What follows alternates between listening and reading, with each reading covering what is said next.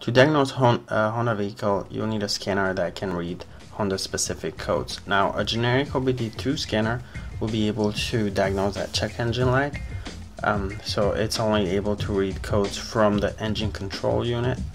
But if uh, you have issues with the ABS or the airbag or transmission or climate control or any other module that's installed on your Honda, you'll need a scanner that can get into all those different uh, control modules. So here we have Foxwell uh, and T510 for Honda and this is able to scan through all the various control modules um, and it will it will tell you if there are any codes then once you uh, it goes through the list which takes several minutes then you can go into each one of these control modules and see what the codes are see a brief description of the code um, see if they're current or stored codes.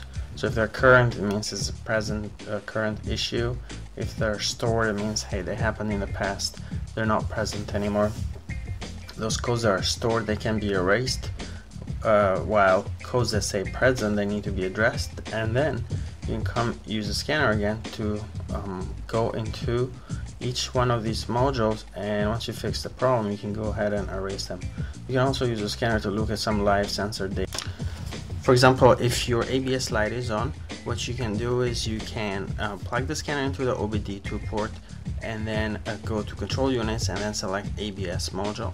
Once you go to ABS module, of course you can read or clear codes, but clearing codes without fixing the problem, it does not solve any issue. So what you want to do is go down to live sensor data or view data and um, select all the different sensors that you want to display um, the values from. So all the sensors that send data to the ABS module will be listed in there. And then uh, what you'll do for example you'll select let's say the uh, wheel speed sensors. Those usually go bad. And then you can see all four wheel speed sensors at the same time and then you can see hey one of them is not reading anything. Let's say the front right is not sending any data. Um, and that's how you know you know you, you look more into the ABS sensor or the wiring